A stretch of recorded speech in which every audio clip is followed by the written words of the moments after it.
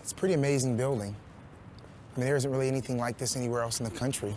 So, Carl, when was the last time you've been to the Coliseum? Gosh, it's um, been about 10 years.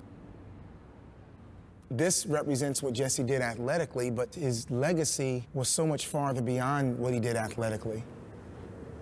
So in 84, you were chasing uh, that four gold medal, sort of that shadow. Yeah, in 84, I had to come in here and try to do that feat. it was tremendous. Carl Lewis first qualified for the Olympics in 1980, but the U.S. boycott of the Moscow Games delayed Lewis's opportunity for greatness under the cauldron until 1984. Los Angeles. The moment is at hand. Carl Lewis, he's trying to step into immortality. He'd like to do what Jesse Owens did. Across nine days at the Coliseum, the 23-year-old etched his name among the most legendary performers. In the 100 meters, he was the world's fastest man. First gold. The next event on his program was the one that would become his signature, the long jump. Carl Lewis has just won his second gold medal. Two days later, he settled into the blocks for the 200 meters. Lewis wins the gold, and it's a one-two-three American sweep of the 200 meters. And Lewis closed out his Olympic debut anchoring the 4x100 meter relay.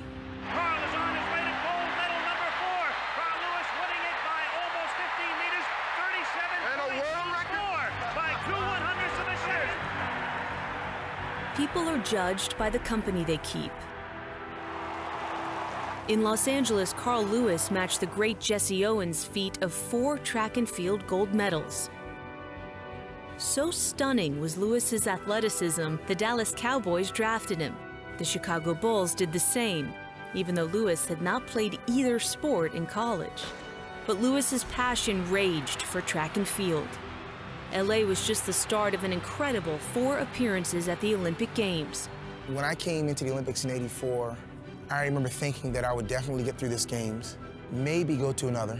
No way past that. And then the next thing you know, each Olympics came up and he said, okay, let's do it. In all four, he won medals. In his signature event, he was never beaten. 35-year-old Carl Lewis wins his fourth He closed out his career as an eight-time world champion and 10-time Olympic medalist. Nine of his performances at the Games were golden. In a sport that celebrates the fastest times, Lewis may be best remembered for the number of years that he stayed in the game with speed, power, and a brilliant flair for victory. At the end of the day, your legacy is what you leave behind. One day I hope that some kid says, I want to do what Carl Lewis did.